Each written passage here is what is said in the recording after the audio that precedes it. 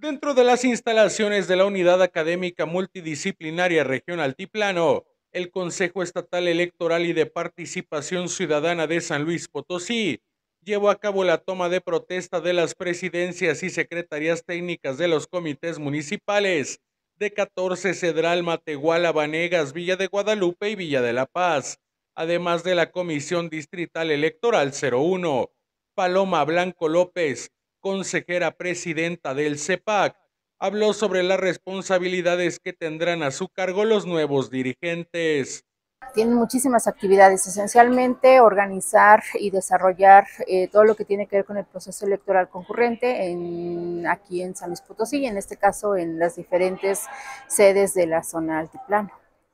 Al ser cuestionada sobre si el presupuesto será suficiente para llevar a cabo el proceso electoral, comentó al respecto.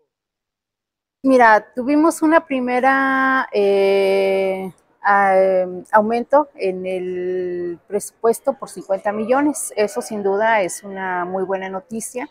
Eh, estamos aún en el Consejo analizando con las diferentes áreas jurídicas y administrativas para identificar cuáles serían aquellas actividades que aún quedarían pendientes, eh, si ese fuese el caso, de em, identificar con el presupuesto, pero por lo pronto vamos muy bien.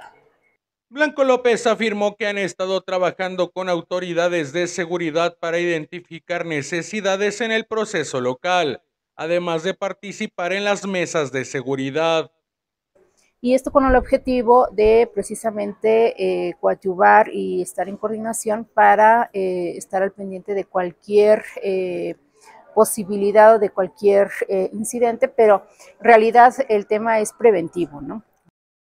Jesús Valencia, corresponsal, zona altiplano, noticieros Canal 7.